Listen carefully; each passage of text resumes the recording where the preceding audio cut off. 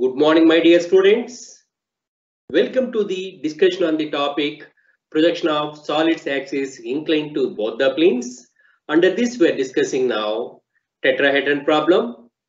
This is the sixth solved problem under projection of solids axis inclined to both the planes. Now we'll see what do you mean by tetrahedron. What do you mean by tetrahedron? A tetrahedron is a special type of triangular pyramid in which base sides and slant edges are equal in length and it is a solid of four equilateral triangular faces and six equal length edges and four vertex corners. Like cube, it is also described by one dimension only, that is length of the side. In general, most of the problems, axis length is not given. This is the tetrahedron. Here, A, B, C, O are the corners of a tetrahedron. That is, it is having four corners. Then A, B, C is one face. OAB is another face. OBC is another face. OAC is another face and each face is a equilateral triangular and it is having four faces. Then OA, OB, OC are slant edges. AB, BC, AC are base edges. That is, it is having six edges of same length. Now we'll move into the problem. This is very, very important problem and it was asked many times under JNTU and Anna University examinations. The given problem is a tetrahedron of 50 mm long edges is resting on one edge on HP while one triangular face containing this edge is vertical and 35 degrees inclined to VP. Draw projections. Now we'll write the data from this given problem. The name of the object is tetrahedron and side length is 50 mm. The edge on HP and triangular face is vertical. That is the given condition in the problem. Edge which is on HP is inclined at 35 degrees to the VP. That is this edge or side inclination with VP is equal to 35 degrees. Now we'll move towards initial assumption of the tetrahedron for simple position. The assumption for initial position here in the problem, it is mentioned that the tetrahedron is resting on its side on HP and side containing face say OBC is vertical. Then the axis is not perpendicular to HP. So the true image of the base is not visible in the top view. Actually, in the case of solids, we need to start with true image of the base. So true image of the base is not visible in this condition. So in order to get the true image of the base, what we need to do? We need to keep the tetrahedron in such a way that the base ABC is on HP so that this axis is perpendicular to HP. That is here the edge BC is on HP and edge containing the triangular face OBC is vertical. So the axis of the solid is not perpendicular to the HP and base is not parallel or on HP. True image of the base is not visible in top view. So we need to start with true image of the base. For that what we will do, we are assuming the tetrahedron is such that the axis is perpendicular to the HP and the base is on HP with one side of the base BC is kept perpendicular to the XY line in top view, preferably to lie on the right side. Note, if the solid is required to be placed with an edge of the base and Initially, the solid has to be placed with its base on HP such that an edge of the base is perpendicular to VP. Here, this ABC base is on HP and BC is perpendicular to XY line. That is, ABC is the base of the tetrahedron, which is on HP and side of the base, say BC is perpendicular to the XY line. This is the initial assumption. In this assumption, the axis is perpendicular to the HP so that base is parallel to the HP. That is in the initial assumption, as a first step, we'll draw top view. The top view is a equilateral triangle with images of the slant lines say OA, OB, OC. That is, draw top view equilateral triangle with images of slant lines and, and related front view for the given tetrahedron in the initial position. Now we'll move towards brief overview of the solution. The solution of the tetrahedron problem is divided into three stages. Stage 1, stage 2, stage 3. In the case of first stage, it is a initial position assumption. In this position, we are assuming tetrahedron is resting on its base on HP, that is ABC base is on HP. So draw top view. ABC is a equilateral triangle image. Then in addition to that, OA, OB, OC images are also visible in the top view. OA, OB, OC are the slant lines. Then after drawing the top view, then we'll draw front view. After drawing the front view, then we'll draw second stage front view. In the case of second stage front view, the face O dash B dash C dash is to be tilted such that it is going to be vertical. That is, the first stage front view is to be redrawn in such a way that this O dash B dash C dash face is going to be vertical. After drawing this front view, then we'll draw related top view. This is second stage solution. After drawing the second stage top view, then the side which is on HP, say B1, C1 is to be tilted with an angle of 35 degrees to the VP. That is, we are copying the second stage top view in such a way that the side BC, which is on HP, to be tilted with an angle of 35 degrees to the VP, so that we'll get third stage top view image like this. Then from this, we'll draw final front view. The final front view is the outcome of the third stage top view as well as second stage front view. This is the final required front view. That's about brief overview of the solution. Now we'll move towards detailed solution. As a first step, draw XY line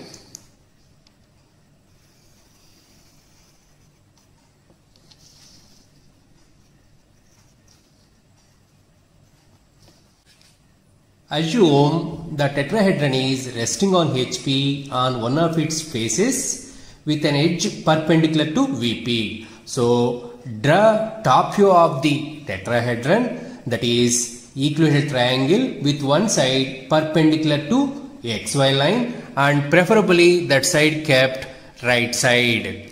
The side length is given in the problem as 50 mm. So draw 50 mm side which is perpendicular to the xy line then construct the equilateral triangle in the top view. 50 mm as a radius one end of the side as a center draw an arc another end of the side as a center with the same radius draw an arc. Name this intersection point as A and this point as B and this is C then join AB AC ABC is the equilateral triangle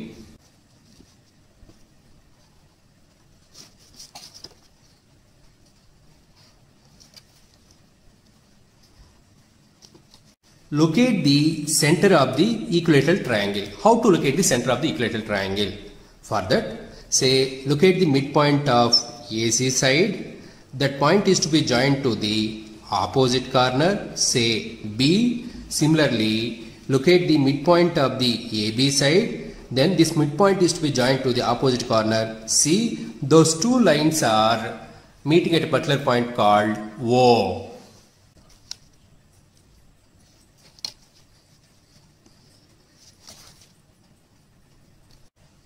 O is the center of the equilateral triangle and also it is the image of the axis in top view. Now join OA, OB, OC.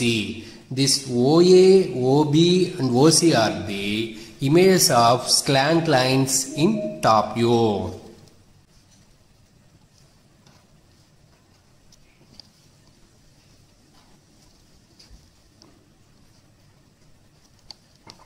This is the image of the tetrahedron in top view when it is resting on its face say ABC on HP and one of its sides say BC is perpendicular to the XY line. OA is the image of the slant line in top view. OB is the image of the another slant line in top view. OC is the image of the another slant line in top view. After that, project the corresponding front view. So draw projectors through A, B and C through O then as the tetrahedron is resting on its face ABC on HP so it image falls on the XY line so here this is A dash and this is B dash and C dash.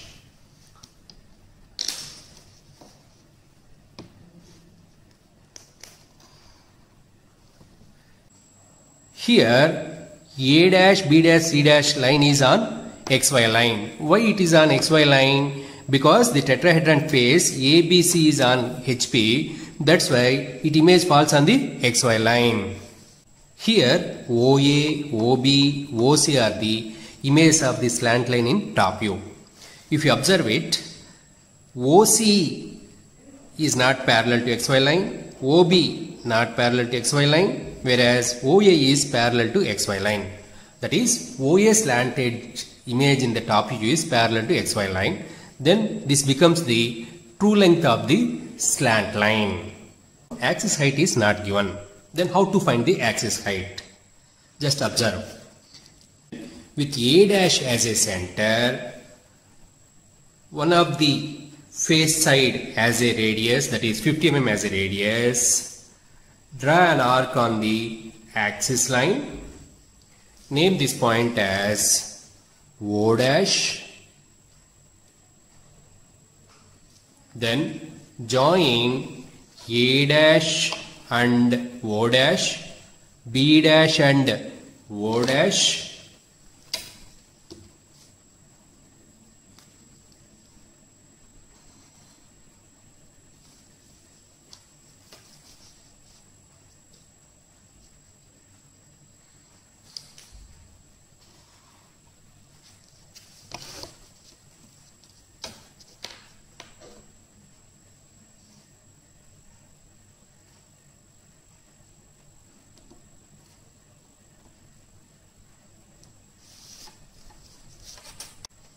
O dash A dash is the true length of the slant length in front view whereas O dash B dash and O dash C dash are not true length of the slant lines in front view.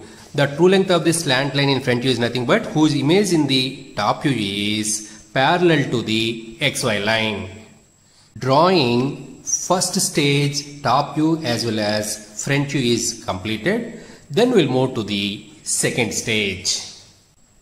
Because BC is on HP, that's why its image in the front view falls on the XY line that is B dash C dash falls on the XY line. Then the side BC is on HP and this O dash B dash C dash face is to be tilted so that it is going to make an angle 90 degrees to the HP. So draw this O dash B dash C dash line as a vertical that is perpendicular to the XY line.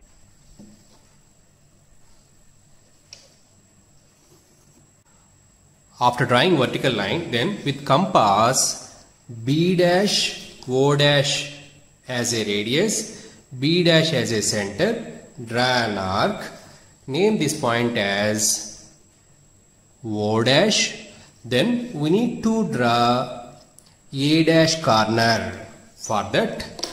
O dash A dash as a radius.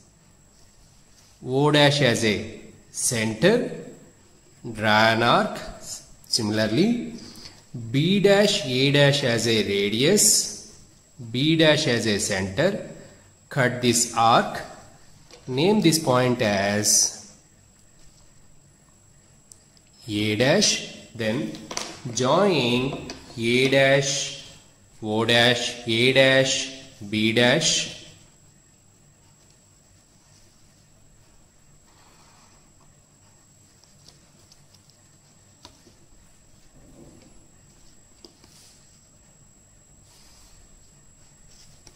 Then dark B dash O dash line.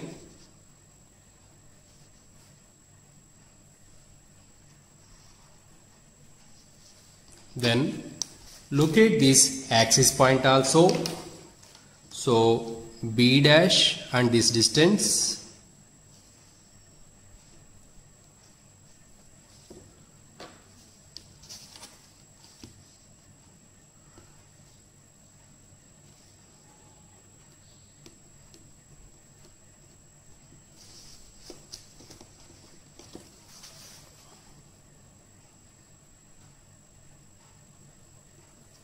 drawing second stage front view is completed.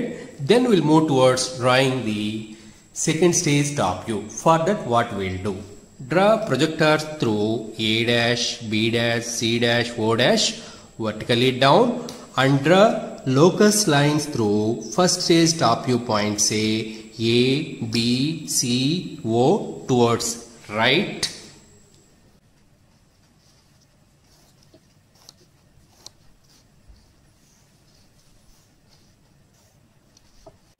After that, locate the intersection points in the second stage top view.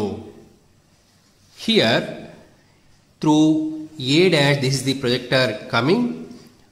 Through A, this is the locus line coming.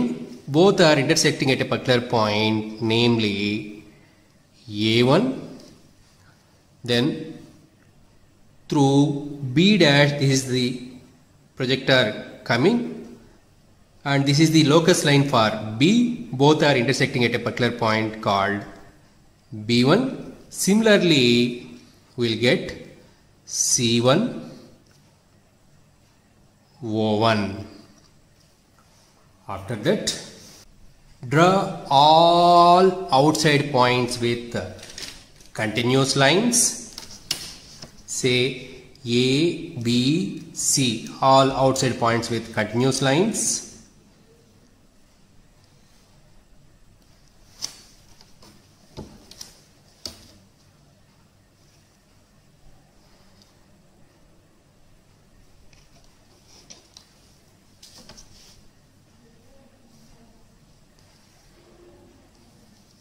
Then this is the direction of top view then for the observer OA face edge is nearer. That's why it is visible. So dark OA face edge in top view that is O1 A1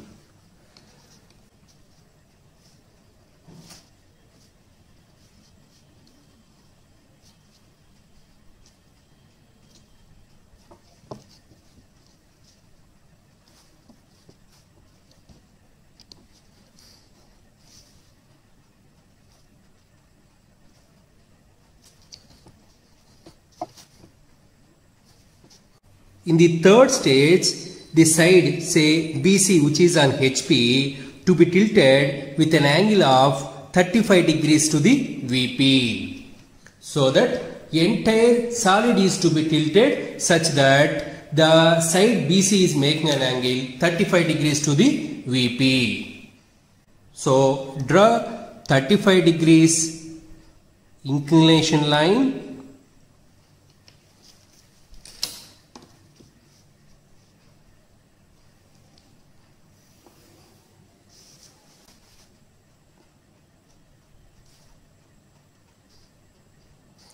After drawing the inclined line, locate a point B1, then B1 C1 as a radius. Draw an arc on this inclined line. Name this point as C1. Then B1 A1 as a radius. B1 as a center. Draw an arc. Then C1 A1 also with the same radius. So C1 as a center, draw another arc. Both are intersecting at a particular point A1. Then join A1 B1, A1 C1, C1 D1. Then locate O1 point also. So B1 O1 as a radius, draw an arc, name this point as O1.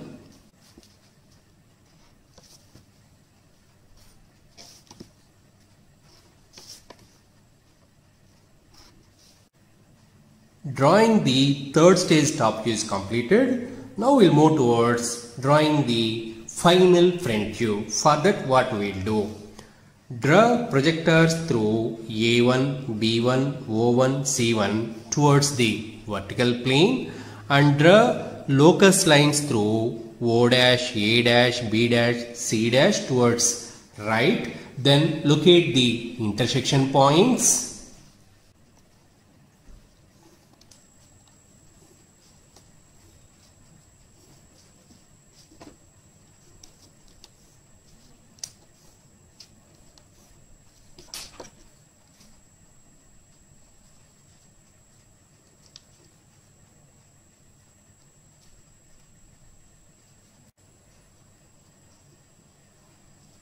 This is the direction of front view. So as a first step, join all outer points with continuous lines.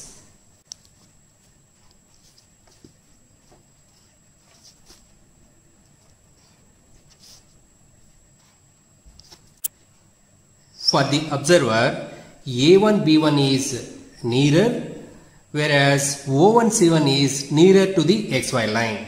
So the sides which are nearer to the observer are visible and the sides which are nearer to the XY line are invisible.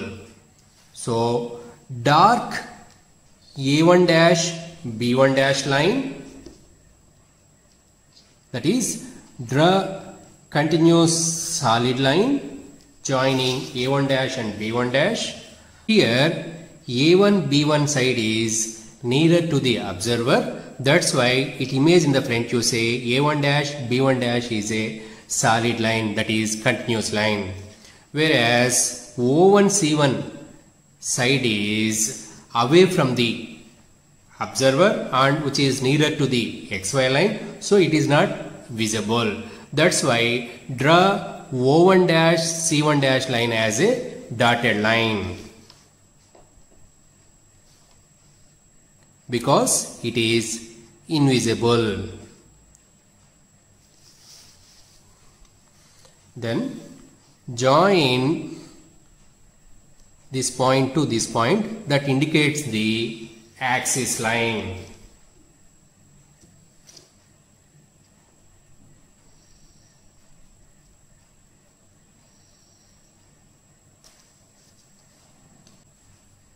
This is the final front view of the tetrahedron when it is resting on its edge.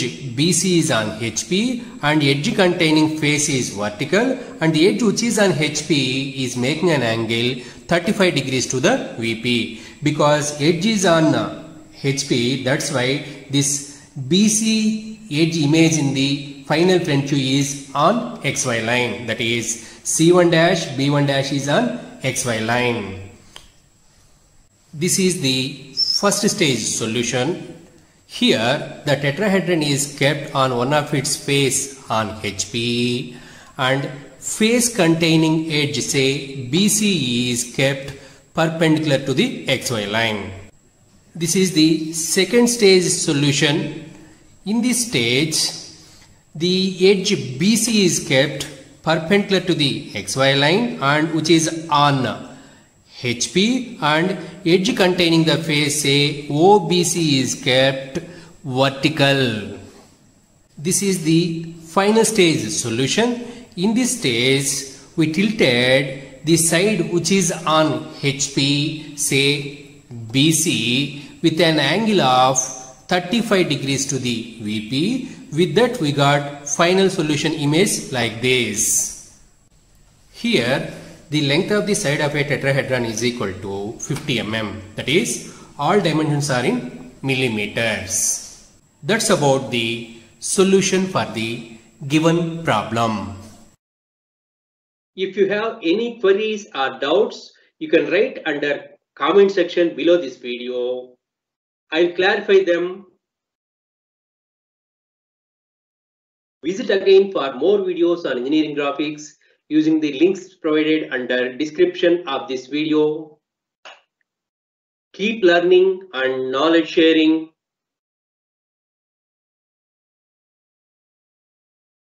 Thank you for watching.